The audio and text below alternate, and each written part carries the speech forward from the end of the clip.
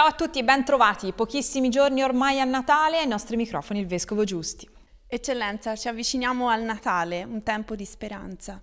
Sì, di speranza, perché si stanno adombrando tante opportunità di lavoro. Il nuovo ospedale, la nuova darsena, i bacini che debbono tornare a essere fonte di lavoro, si parla di centinaia di persone, il rinnovamento profondo della raffineria con la possibilità di investimenti da 250 milioni e tantissime assunzioni, sia dentro che fuori. Per cui c'è della speranza, però cosa occorre? Responsabilità. Occorre fare le cose bene, occorre cercare di fare tutto nel rispetto delle leggi dell'ambiente, occorre il senso del dovere e non il senso del partito. Il Natale ti invita a essere una nuova umanità, un'umanità che ha in Adamo ed Eva in Gesù e Maria un nuovo proposito, un nuovo immagine, grandi nella storia, grandi nella carità, grandi nella responsabilità, grandi nel vincere ogni cosa, dal dolore, dalla sofferenza, alla morte, grandi nel costruire una storia di giustizia. È quello che noi dobbiamo portare avanti con questo Natale, anche nel nostro territorio. Vi aspetto naturalmente in cattedrale o nelle tante parrocchie per celebrare il Santo Natale. Il Natale è essere incontro Cristo, non se mangio semplicemente un dolce, che poi ti fa ingrassare. Invece devi crescere nel cuore e nello spirito, non solo nella pancia. Buon Natale a tutti!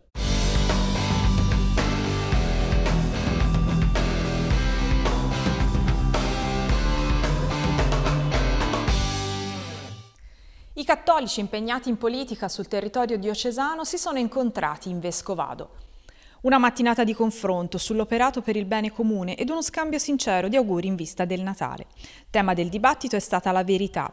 Partendo dal libro del profeta Amos, il vescovo ha ricordato che per un cristiano è inammissibile dire falsità.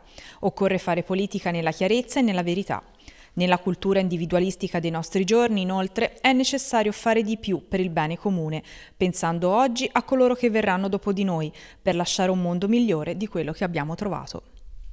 La scuola della parola sta diventando un appuntamento sempre più speciale per tutti i giovani della nostra diocesi.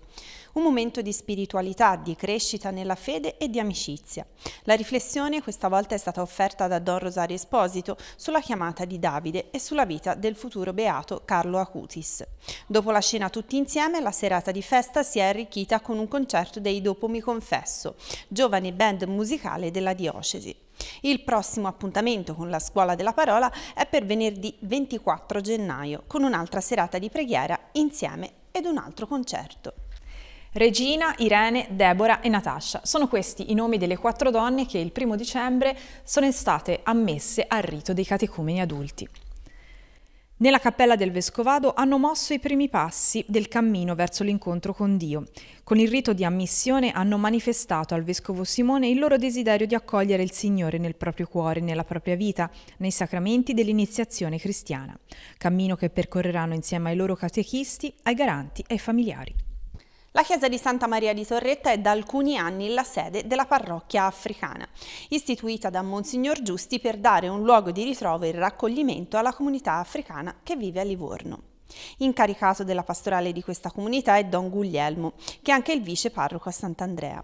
E proprio in questi giorni la comunità africana ha vissuto il suo primo battesimo. È stata la piccola Rose a ricevere il sacramento.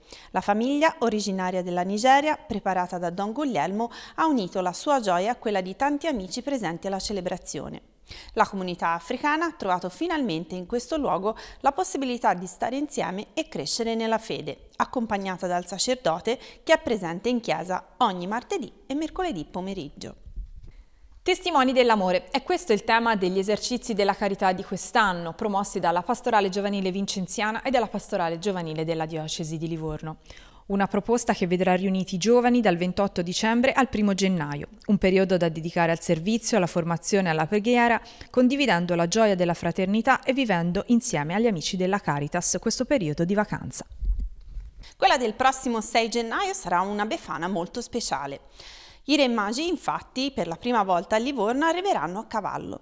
Un piccolo presepe itinerante si ritroverà nel pomeriggio alle 15.30 alla chiesa della Madonna. Da lì i magi partiranno, preceduti dai bambini e dalle famiglie che intoneranno canti natalizi e si avvieranno verso la piazza Cavallotti, seguiti dai centurioni a cavallo.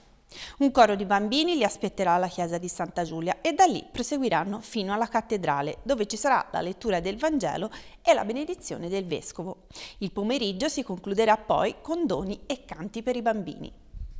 Il 27 e il 28 dicembre prosegue il Chiricarica, il percorso dedicato ai ministranti. Don Matteo Giavazzi ce ne parla ai nostri microfoni. Durante le vacanze di Natale i chirichetti, i ministranti di tutta la diocesi si ritroveranno per una o due giorni insieme. Cosa si tratta? Sì, abbiamo pensato di prolungare e continuare il lavoro che abbiamo già iniziato nel mese di ottobre per vederci un po' insieme, fare due giorni, fare un po' il punto eh, sul lavoro che si fa nelle parrocchie e soprattutto rileggere il percorso dei ministranti in chiave vocazionale, perché i ragazzi hanno bisogno anche di un riferimento alla loro vita, quindi l'esperienza del ministrante può diventare anche un'esperienza importante per scegliere che cosa fare della loro vita. Come funzionerà questa due giorni?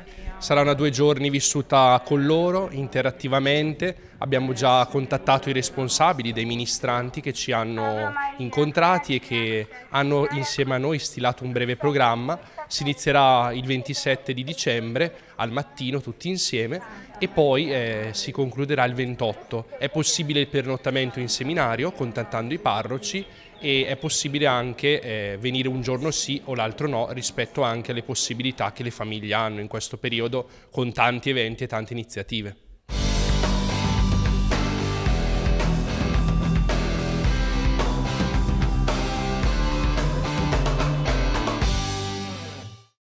Vi segnaliamo gli appuntamenti della Diocesi di Livorno per le prossime settimane. Lunedì 23 dicembre alle 11.30 il Vescovo rivolgerà i suoi auguri alla città dal Villaggio della Carità. Alle 21 alla Chiesa della Sacra Famiglia lo spettacolo di Natale delle parrocchie dei quartieri nord. Martedì 24 dicembre in cattedrale la veglia e la messa di Natale in diretta su Granducato TV. Mercoledì 25 dicembre alle 8.45 il Vescovo presiederà la Santa Messa in carcere. Alle 10.30 la Messa di Natale in cattedrale in diretta su Granducato TV. Giovedì 26 dicembre alle 10 a Castelnuovo della Misericordia incontro con i genitori e gli animatori e a seguire la Messa per la festa patronale.